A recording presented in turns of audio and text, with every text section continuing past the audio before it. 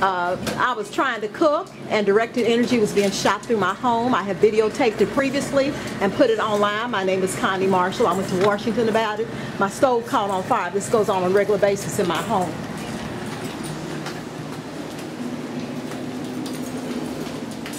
I was cooking on that burner right there. I have videos online where you can see the frequencies that come through my window on a regular basis and stuff comes through my uh, on a regular basis. Things are turned off and on in my house on a regular basis and I have videos of all this online. Pull the stove out and unplug it. Where's your breaker box, man? Uh, down in the basement. This goes on on a regular basis in my home.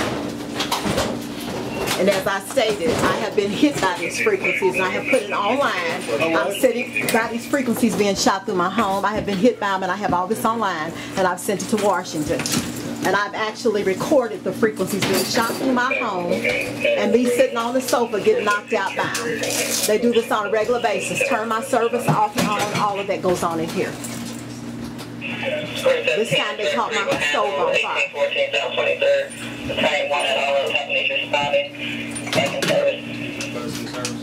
What's up, buddy?